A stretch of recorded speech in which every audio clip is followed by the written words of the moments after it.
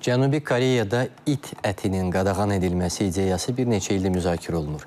Ənənəvi baxışları olan bəzi insanlar it ətinin Koreya mətbəxinin ayrılmaz hissəsi olduğunu vurğulayaraq bunun əleyhinədir.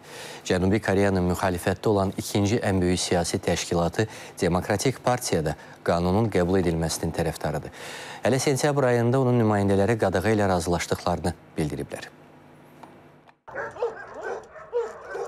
Cənubi Koreyada it yemək qadağan edilir. Bu qərar Xalq Gücü Partiyasının iclasında qəbul edilib. Ölkənin hakim partiyasının rəhbəri Yoo Dong 2024-cü ilin sonuna qədər it ətinin istehlakını qadağan edən qanun layihəsinin qəbul edildiyini açıqlayıb. O, bununla bağlı yaranan sosial münaqişələrə və fikir ayrılıqlarına son qoymağın vaxtının gəldiyini bildirib. Qanun layihəsində 2027-ci ildən it ətinin kəsilməsi və satışının tamamilə qadağan edilməsi nəzərdə tutulur.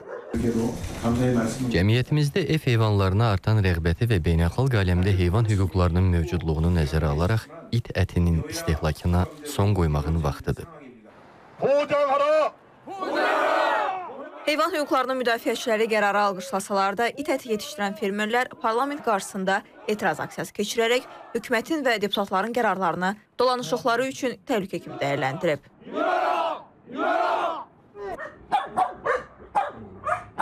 Məlumata görə ölkədə təxminən 1150 it yetişdirmə ferması, 34 kəsim məntəqəsi, 219 distributor və it ətindən hazırlanan yeməklərin verildiyi 1600 restoran fəaliyyət göstərir.